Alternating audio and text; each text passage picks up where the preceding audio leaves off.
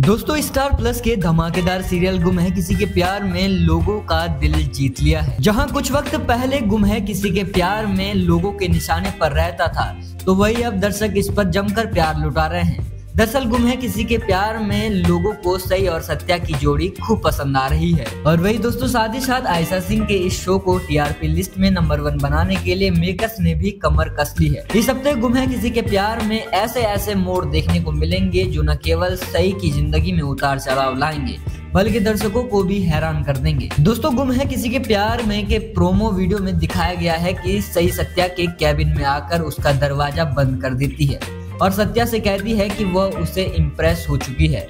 इतना ही नहीं, सही सत्या से कहती है कि मेरे हाथों में आपके नाम की लकीर है और अगर नहीं होगी तो मैं खुद बना दूँगी। सही का यह अवतार देखकर खुद सत्या भी हैरान रह जाता है। दोस्तों, साथ ही साथ वही गुम है किसी के प्यार में देखने को मिलेगा कि जहाँ एक तरफ़ सही सत्या के कैबिन में होती है, वही दूसरी ओर विराट उसे लेने के लिए हॉस्पिटल आ जाता है। लेकिन वह जैसे ही कैबिन का दरवाज़ा खोलता है, उसके पैरों तले ज़मीन खिसक जाएगी। मानो उसने सही और सत्या को साथ देख लिया हो। दोस्तों, गुम है किसी के प्यार में को लेकर माना जा रहा है कि सत्या कोई नहीं, बल्कि चौहान परिवार का ही बेटा निकलेगा।